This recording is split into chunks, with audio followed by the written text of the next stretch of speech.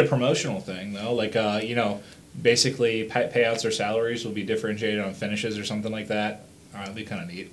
Uh, Yeah. competition. Like whichever, like between them, how they finish at an event. Like if FaZe Red finishes better than Black, you know, they'll have some sort of salary adjustment or something. Or a bonus. like a quarter, like a like I don't know. I'm just throwing ideas out there. I think that'd just be kind of cool as long as it was Yeah. like a professional, friendly like challenge and not like a backstabbing Game of Thrones esque Yeah, midgets yeah. everywhere. dude. That's that's exactly what Call of Duty is. Is a crappy version of Game of Thrones. pretty much.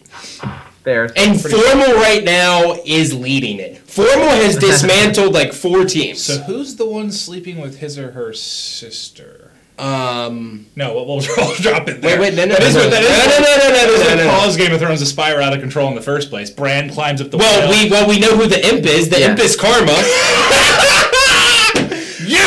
Yes, oh, I got a new one. okay, the imp, the imp is karma. That's It true. has to be Karma. So then that.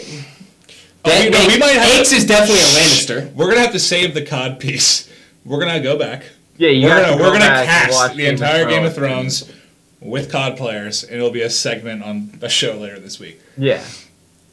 I don't think we save, yeah. both are that creative to do it, but I Oh, think we could. Yeah, we're probably not gonna do it, but uh, I just don't think we need to do it now. Well, Aches is definitely a Lannister. I'll put it. Ace, at could be a Lannister. Yes, I can see that. Probably Jaime.